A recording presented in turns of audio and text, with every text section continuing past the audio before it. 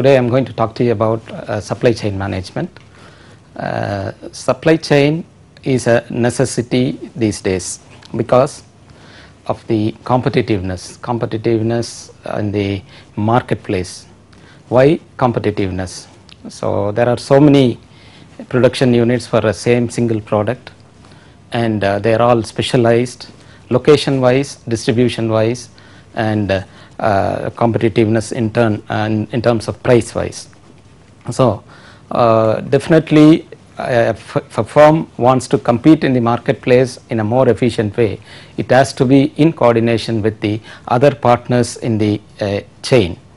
Uh, so other partners in the supply chain. So supply chain uh, has different partners. It starts with suppliers, then the manufacturers or the uh, uh, producers, then it is uh, once they produce the uh, product, they it goes to the retailer or uh, the distributor, then from the distributor to the retailer, uh, then retailer to the consumer. So it takes uh, so uh, supply chain management is a case where the conduit of movement of uh, the a produce or a service product or a service from the supplier of raw material till the it goes via uh, these chains uh, partners chain partners to reach the customer. So when uh, we talk about why do we need uh, supply chains as I told you the competitiveness in the marketplace uh, necessitates the operations of the supply chain. Earlier uh, let me get into the small history of supply chain. Earlier the industries were focused on few locations uh, with few products in line and few markets in focus. But these days the companies have diversified in terms of I mean there is a geographical uh, diversification, uh, there is a product diversification and there is a service diversification. And this in turn say uh, this is the kind I mean uh, one scenario where the production goes. The other scenario is the consumption side where the consumers are almost distributed throughout the world. With improving incomes, improving standards of living, the consumption is, is on the upscale uh, mainly in the developing countries and the industries have been located in the developed countries those days and they have started diversifying into the uh, de- developing countries and uh, to meet the local consumption uh, needs. So the product has to move through a, a long chain cut, cutting across many number of partners. So supply chain management we essentially mean here to manage the product flow and the product flow, the information flow and the money flow. Say the product flow and the information product flow happens one way from the supplier to the consumer. The uh, information flow happens both ways. Uh, say for example a feedback is being given by the consumer will come to the um, distributor, retailer, manufacturer and then in turn it goes to the uh, supplier of the raw materials. So this is uh, this is one way of flow of information. The other way of flow of information is say for example uh, warranty is being given to the product, a warranty or a, a guarantee for a product or a service. So it should flow from the supplier till the uh, consumer. So information flows back and forth. The product flows from the supplier to the uh, consumer and uh, the money flows. Money flows uh, for example uh, the producer the supplier in fact uh, he starts investing in his supplies to the manufacturer. Manufacturer in turn uh, uses the raw materials to convert them into the into a product or a service and he invests money in in the processes. So at each point in the chain there is an investment happening. So there is a flow of money there is a, a concentrated investment at each part, partner level and there is a flow of money from uh, uh, supplier till the uh, uh, consumer uh, is met uh, I mean the demands of the consumer is met with. So this is one way of flow the working capital flow that is what we call. Then the other side uh, the uh, uh, custom, once the customer pays in the marketplace pays for the product that he is uh, acquiring or uh, getting maybe it is a service or a product so he pays the money for the product and it flows back through to the till the supplier end. So, these are the flows that happen in the supply chain. So, supply chain management means here say we want to optimize uh, make it more make the flows more efficient uh, so that cost is cut at each partner level so that the processes become cost efficient and and in turn it would reflect in the price of the product or a service that uh, the particular chain offers. Uh, that is one uh, way of looking at the supply chain flows. The other issue here is the responsiveness, the speed with which a, a, retailer or a distributor responds to the needs of the customer or requirements of the customer at a particular point of time. So, maybe it is in terms of price, in terms of uh, quality, in terms of uh, the delivery schedules etc., etc. So, uh, these issues have become very very important because of uh, the uh, existence of uh, many many uh, uh, manufacturing firms that compete with each other right. Let us get into the advantages of such a manage I mean such management of the partners of the supply chain in a line. So uh, we try to economize for example say when the product is to be moved from the factory to the uh, say for example the warehouse there is a transportation. We need to minimize the transportation distance distribution distance right? By the way we are saving some money. So the savings in money will get in in terms of uh, reflected in terms of the price as well as the profit that could be shared among the uh, partners in the chain.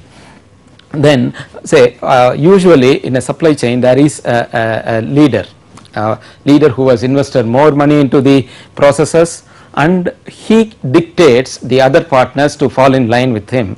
And uh, the role of the leader here would be to disseminate the flow of information and also share the uh, profits that he gets in tune with the contribution of each of the partners right and uh, uh, over a period of time uh, the leader in the chain invests more on technology because he has to in fact compete enormously with the uh, other uh, competitors in the marketplace. So, uh, technology improves, so tracking and tracing to the source.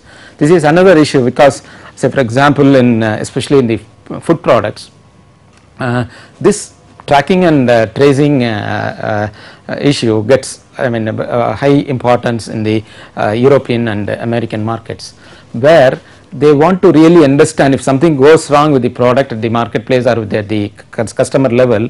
They really want to trace where such problem has occurred in the chain. And this in turn helps the building up of the uh, building up of the image for the company and brand as such in one way and the other way to find out what has gone wrong and where and how it could be corrected through the chain. And uh, this tracing and uh, and also the customer in turn he wants to know about uh, the details of the product. For example I have uh, seen a website um, in uh, uh, that was hosted from Netherlands which say if you go to a butcher shop you buy a piece of meat you want to look at how the uh, the cow looked like before it was butchered you could go to the everything is recorded from the birth of the calf till it was slaughtered everything is recorded the feeding ratio is recorded and the uh, final parameters before butchering is all recorded. So, if you as a consumer if you want to look at all these aspects you can. So, that is how uh, the kind of information flow helps the uh, people in making decisions. So, tracing and tracking is one of the very important issues in terms of safety of the product and in terms of satisfying the customers requirements. Then uh, so uh, naturally if such things have to happen some uh, say a leader in the chain has to invest more. Uh, so uh, as I told you the partners of the supply chain I mean uh, the major partners are it always starts with the suppliers. So suppliers are the people who supply the raw materials for the processing uh, then the second partner would be the manufacturer and once the manufacturer manufactures the product or a service it, he passes it on to the wholesaler or distributor and from where it goes to the retailer and ultimately to the uh, cust uh, customers or consumers or whatever it is. So there are uh, usually uh, two ways in which the whole supply chain is looked at uh, the cycle view and the uh, push or pull view. Cycle view uh, as I have been explaining cycle view in turn explains how the product flows from one uh, part of the cycle to the other cycle. For example, the supplier supplier supplies the raw material to the manufacturer supplier to the uh, supplier then so supplier has to source the raw, raw material or he has to say process the raw materials to be further processed by the manufacturer. So, those are the activities that are taken up at the supplier level. So, he has to pass on whatever he has uh, uh, I mean prepared in terms of raw material to the to the uh, manufacturer. So, manufacturer in turn uh, he transforms the uh, supplies that is raw materials into a product or a service. So, there are uh, cycles within each partners that are happening and that is connected to the next partner in line. So, that is what is a cycle view. And push and pull view uh, say uh, push view say uh, the manufacturers uh, they keep on producing and they store it in their warehouses and they look at the market to push their products to the customers. Pushing. They do not uh, uh, measure really what is actually Uh, the demand would be in a particular market based on the heuristic knowledge or uh, based on the uh, past experience. They know how much to produce. There is a problem with this push kind of a view. There is another view pull view. So pull view gets triggered say when the customer places an order the chain starts reacting. Say customer places an order to the uh, retailer then retailer passes on the order to the uh, uh, distributor, distributor in turn to the manufacturer and manufacturer in turn to the it, it flows backwards.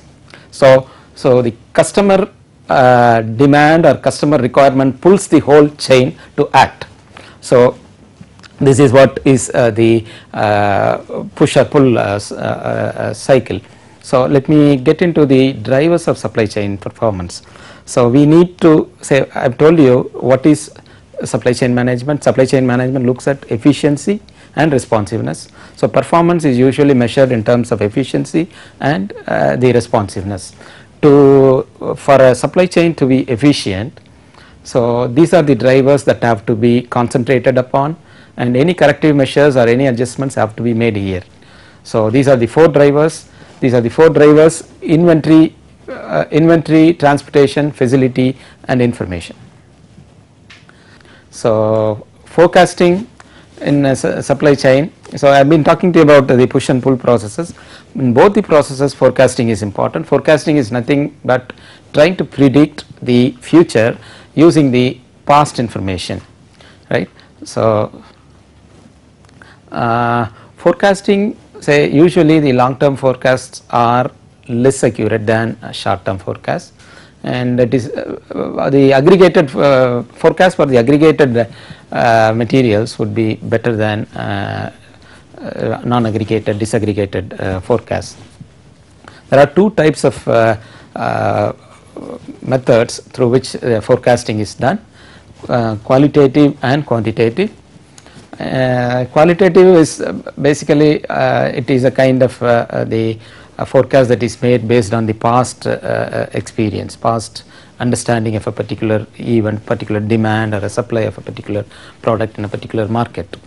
Mm, whereas quantitative relies more on the past information that have been documented in terms of some data uh, and uh, we can uh, always uh, do some statistical analysis of the past data and try to predict the future that is what is a quantitative uh, uh, forecasting. Uh, so, this forecasting is required to estimate the demand in the marketplace from the customers either through the push process or the pull process or uh, the um, push process pull process or uh, the other views. distribution is another important aspect in the supply chain because distribution takes away about 30 percent of the total cost of the supply chain uh, cost of the supply chain.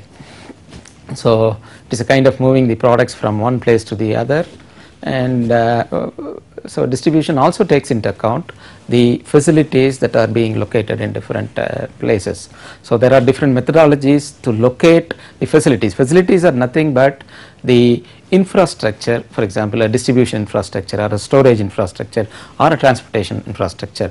So, uh, these are the uh, facilities these are called facilities they have to be strategically located to attain the uh, objective of minimizing the cost and uh, maximizing the responsiveness of the uh, uh, of the demand. Purchasing and inventory management is another area where uh, the whole supply chain management uh, performance and the efficiency bounds on. Like uh, say purchasing is nothing but procuring materials, raw materials and uh, that is I mean that itself is a big subject purchase management, but when uh, you consider supply chains uh, the purchase policies and purchase strategies of a company that I mean it, it uh, relies uh, it affects to a large extent the profits that are made by the company or the responsiveness of the company in meeting the customers demand. So, there is a purchasing cycle say purchasing does not happen automatically purchasing has to have different series of steps that will look into the processes in detail and try to look at and concentrate on the efficiency part of the whole uh, chain and uh, there are 8 R's of uh, purchase parameters all rights. There are no wrongs here only rights. Right quality quantity price time right source right time of delivery place of delivery adopting right procedures uh, using right contractual methods. And there can be different types of purchasing. So, purchasing again I, I stress on purchasing because 20 percent of the total cost of the product uh, depends on the uh, purchasing processes. So, uh, there are different types of purchasing contract purchasing, blanket purchasing, uh, tender purchasing, seasonal purchasing, subcontracting, group purchasing etc. E-purchasing is the latest uh, one that is being relied globally to source out the materials. So, inventory management, uh, so once purchase is made, the inventory has to be managed.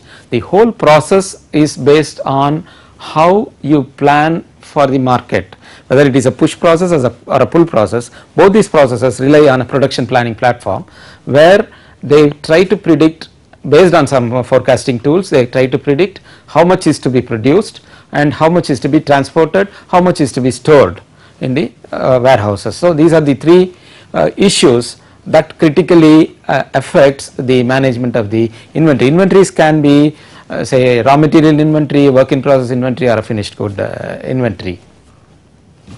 Uh, so, so these inventories as I told you purchasing is one process and we need to uh, find out uh, one of the R's is the right source. We need to find out who supplies what material at what cost at what um, price.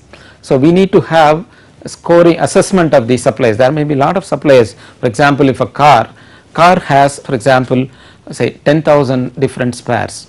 So, all these 10,000 spares cannot be produced by a single say for example a Maruti uh, uh, company. So, they have to rely on uh, for a sing uh, for the say for example there are uh, say 4 5 5000 6000 spares that has being that are being brought from the market bought from the market. For each spare they might rely on 10 to 20 suppliers. And so suppliers would be geographically uh, differentiated. Product wise they might be differentiated, price wise they might be differentiated, quality wise, uh, supplier scheduling wise, the flexibility wise etc etc. So one has to be I mean the suppliers have to be continuously assessed for their performance uh, to make the whole purchasing process uh, a more efficient one. So an, an another area in supply chain management is the warehouse. So warehouse is a commercial building or a premise that, that is designed for uh, bulk storage of uh, either raw materials or uh, the finished products. So we need warehouses because warehouses is a part of facility that I was talking about earlier which drives the which drives the total uh, supply chain performance and supply chain management principles. Uh, we need warehouses uh, to store the perishables, food grains and to meet the unseasonal demand. Usually the agricultural products for example they are produced very seasonally. They need to be stored. They need to be stored and made available to the consumers or for the processing manufacturers uh, throughout the year so that uh, say the uh, demand from the customers are met. At the same time price wise a good uh, uh, profit is made by the partners. So there are different types of warehouses private public bonded. Private is owned by the private uh, investments and public is owned by the government and uh, the bonded is usually owned by the uh, government located near the airports and uh, the seaports. So we need to have a good warehousing practices. There are GWP we call that good warehousing practices to keep the uh, materials that are stored inside uh, the warehouses very safe and ready to be delivered at any point of time that is in uh, that is in demand. So transportation is another area where uh, uh, the supply chain uh, management usually concentrates upon to make the processes efficient. So transportation helps us to move the product from one place to the other place as I have been mentioning earlier. So these days production takes place say for example uh, uh, throughout uh, the world and the consumption also happens to be throughout the world. So necessarily the production and consumption centers have to be have to be bridged upon or networked. So the, both these centers are uh, can be uh, termed as facilities and uh, that is one important driver of the uh, supply chain management. So, uh, there are different factors that affect the transportation decisions. The carrier, carrier means the way, the uh, mode through which we try to transport the uh, materials, the uh, products, final products. So, we need to look at the costs, fixed, fixed operating costs, trip related costs, quantity related costs, qu quantity related costs and overhead costs.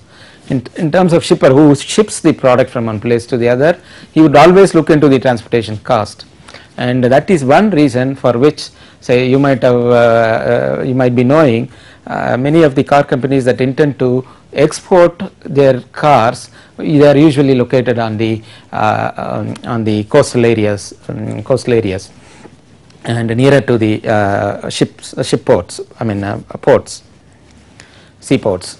Mm.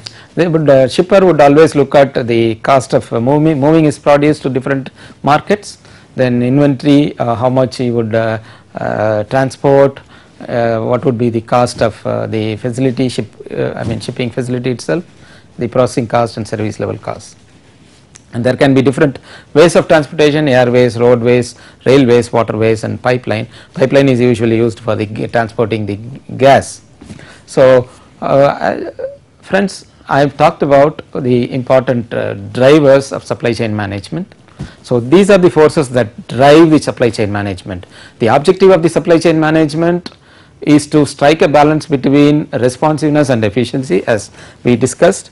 So certain products are uh, to be delivered in a very quick way compromising uh, the cost, the efficiency. For example, uh, say uh, one can always send a courier courier post through for example the FedEx or the local couriers. So when you choose the local courier it might take a lot of time for example if you are sending a post from here to Canada it would take say 6 or 7 days a local courier. If you are going to choose FedEx it the delivery would be assured in 2 days and one can track and trace where his post is. So, and you need to pay a very high uh, check for uh, sending your product through uh, say for example the FedEx. So, there is a, a kind of uh, balance that one needs to look at depending upon the importance, the value of the product, importance of the product, the importance of the product to the customer and uh, the time at which it is required. So, these are the uh, drivers which in turn drive the whole supply chain to be more efficient or more uh, responsive. So that is to be decided by uh, that should be a balanced kind of uh, process. So I mean talking about these important drivers and the recent development is e supply chain management where the supply chain management happens through the internet intranet virtual private networks. So uh, uh, the Dell is the classic example of uh, the e uh, supply chain management. Dell has say 6 or 7 hubs throughout the world, uh, assembly hubs. One as such assembly hub is in Singapore. right. So, they do not in turn produce anything, they just assemble their suppliers from different parts of the world, right. They assemble the product and supply to the nearby markets. For example, if a person from uh, India places an order over the internet for a laptop, it reaches the uh, hub of uh, Dell at Singapore, the it is a kind of a pull process, the whole chain is triggered, then uh, the uh, product is finally supplied to the customer by the Dell hub from Singapore. So, the process is fast and the customer has a choice, he can always uh, there is a kind of a flexibility built into it, he can always try to or do some uh, changes in the configurations he want in the laptop. So, these are the facilities that are uh, uh, I mean entwined with uh, e-supply chain uh, management. So, when we look at uh, e-supply chain management it can be internal as well as external. Internal supply chains I mean say if a manufacturer he looks at internally what is to be done. So, he looks at the different aspects and tries to improve the processes right that is internal. Customer relationship management is one where uh, customers are are uh, focused for uh, better relationship over a period of time for improving their market potential. I have tried to explain you the in nutshell I have tried to explain you the importance of supply chain management and what drives the supply chain management. Uh, so you need to uh, go through I mean this is a subject which cannot be discussed in a short time. So you need to go through the manage website or uh, uh, books I mean like Peter Meindl on supply chain management to understand it in a better way. Thank you.